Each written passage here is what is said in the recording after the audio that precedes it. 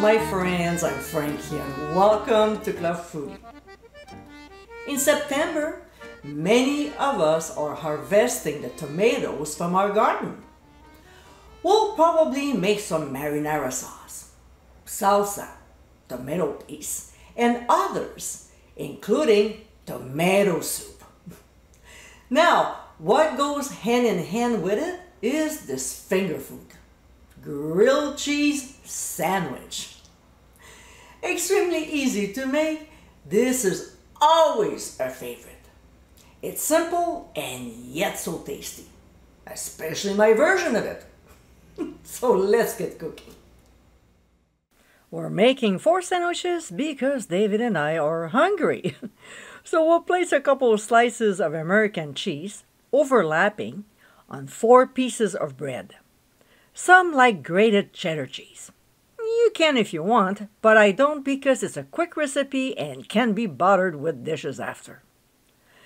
Next, we'll put some finely chopped red onions on top and please don't skip this ingredient as it gives such a nice taste to the sandwich. Because I'll be pairing it with a nice bowl of homemade tomato soup, I won't put slices of tomatoes on the onions, but sometimes I do. One thing we'll surely add is freshly ground black pepper, just a little bit. We'll place a slice of bread on top of each and then spread with soft butter at room temperature, making sure to cover the entire surface. We're not doing the other side yet, okay? Then we'll place them on a baking sheet lined with foil. Told you I don't want to do dishes later. Can you do this in a skillet? Of course, if you have just one sandwich. Otherwise, when there's more, the oven is the way to go. We'll transfer them to the oven under the boiler and toast until lightly brown, about two minutes.